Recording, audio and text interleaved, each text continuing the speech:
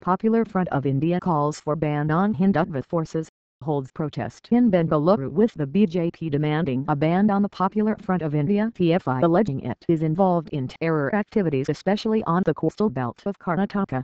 The PFI decided to do the same while protesting. At the town hall in Bengaluru, they held placards calling for a ban on the BJP, RSS, VHP, Bajrang leader and all Hindutva fascist forces in the state. Speaking to India Today, Wasim Ahmed, a member of PFI spoke about various issues that the organization faced.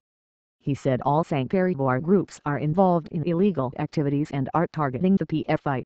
He added there were several cases against the RSS in the union and state governments. We are not calling for a ban on the BJP. We want a ban on the RSS which is BJP's backbone.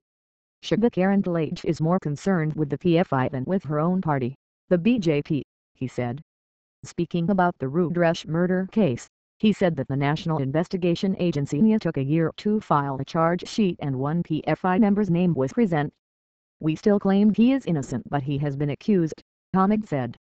Accusing the BJP of forming its government based on lies, he said even the Prime Minister was involved in the Gujarat riots and there were several cases against Amit Shah as well. RSS killed the father of the nation and are the biggest terrorists in Hindustan. If Chief Minister Siddaramaiah wants to ban any organization, then let him take the decision. People involved in terror activities will face the consequences, he said.